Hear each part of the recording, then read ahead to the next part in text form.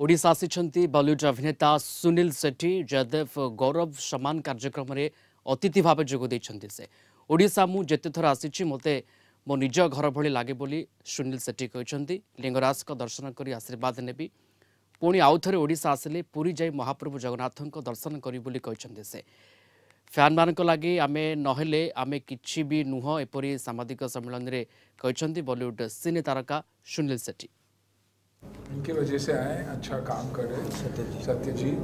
और I think उन्हीं लोगों लोग जो लोगों के लिए काम कर रहे उन्हें पुरस्कार देने के लिए आए। अब मंदिर भी जा रहा हूँ तो वो एक अलग खुशी है मुझे लिंगराज जी की। एंड फ़र्स्ट टाइम मेरा ट्रिप है तो प्रार्थना करने और गुड विशेज़ लेने जा रहे हैं तो यही कहूँगा, जय जगन्नाथ। और बहुत ही खूबसूरत जगह हर बार आता हूँ। आई थिंक ये मेरा पांचवा या छठा ट्रिप है। और हर बार आता हूँ तो मुझे ऐसे लग रहा है कि प्रोग्रेस ही हुआ है।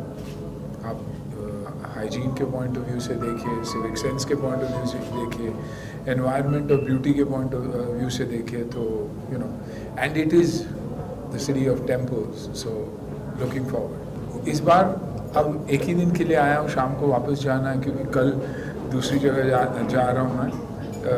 इसलिए अब लिंगराज टेंपल शिव जी की टेंपल जा रहा हूँ। अभी यहाँ से वहीं जाऊँगा और फिर ऑफ़ कोर्स जगह मस्टर्ड और नाम मुझे नहीं पता लेकिन मस्टर्ड और मशरूम था।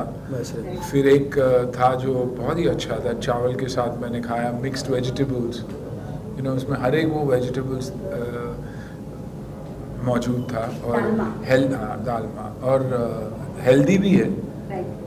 उसके बाद नोलन गुड़ वो आइसक्रीम भी खा ली मैंने। पहली बार मैंने यही खाया था वो मुझे पता भी नहीं था इससे पहले तो पेट भर के और खुशी खुशी जा रहा हूँ जनरली जहाँ भी जाता हूँ तो लोकल फ़ूड डेफिनेटली खाने की कोशिश करता हूँ। मैं चाहूँगा कि 32 साल अगर ज़िंदा रखा है तो इन्होंने ज़िंदा रखा है। फैंस ने ही ज़िंदा रखा उन्हीं के प्यार ने ज़िंदा रखा हुआ एक ये है, देखिए बताइए आप क्या करते हैं, कहाँ से है? 400 400 किलोमीटर ड्राइव करके आए तो आप अगर ये भी देखेंगे तो सेम सेम पहने हुए हैं। तो इनकी बदौलत ही हम ज़िंदा भी है और प्यार